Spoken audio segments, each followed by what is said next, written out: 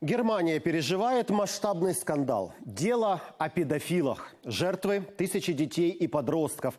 Преступники – служители католической церкви. Кардиналы публично просят прощения, но виновных только обещают наказать. Почему затягивается возмездие, разбиралась Татьяна Лагунова. Немец Норберт Денев – один из немногих, кто не боится и не стесняется рассказывать свою историю. Он без колебаний соглашается на интервью и приходит в эфиры многочисленных ток-шоу. Мне было 10 лет, я стал церковным прислужником и очень радовался этому событию, а потом все началось. Я не понимал, что происходит, но чувствовал, что все это неправильно, плохо. Шесть лет это делал священник, потом два года органист.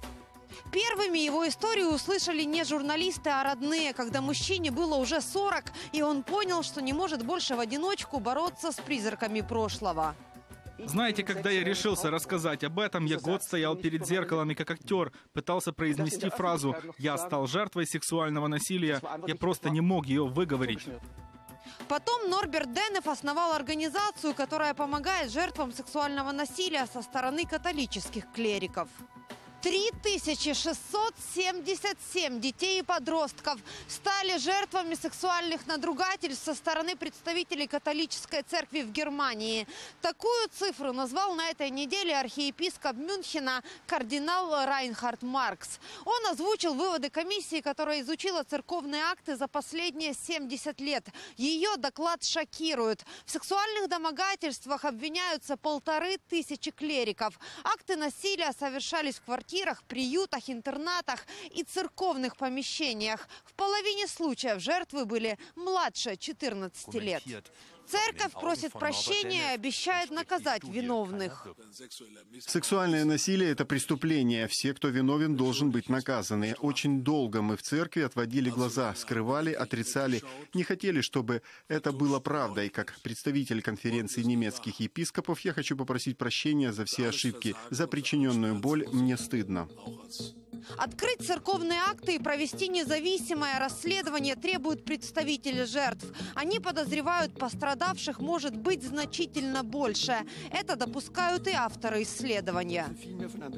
Мы говорим о минимальных цифрах, о нижнем пороге. Есть случаи, которые мы не можем доказать. Это так называемые черные цифры.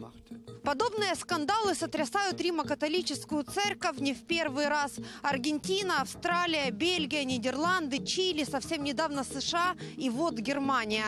Все исправить и вернуть доверие верующих обещает лично Папа Римский.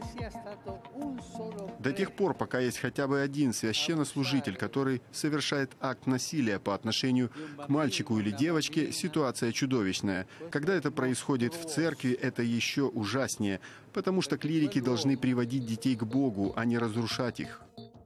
Самого понтифика, кстати, тоже недавно обвинили в сокрытии аморального поведения своих подопечных. Влиятельный ватиканский дипломат Карла Мария Вигана утверждает, Франциск знал, что американского кардинала Теодора Маккерика, который недавно ушел в отставку, подозревают в сексуальных домогательствах к подросткам. Но, тем не менее, сделал его своим доверенным лицом и снял с Маккерика персональные санкции, наложенные предыдущим папой Бенедиктом XVI. На все эти обвинения глава Римо-католической церкви ответил в лучших ее традициях – молчанием. Татьяна Лагунова, Павел Лысенко. Подробности недели. Немецкое бюро телеканала «Интер».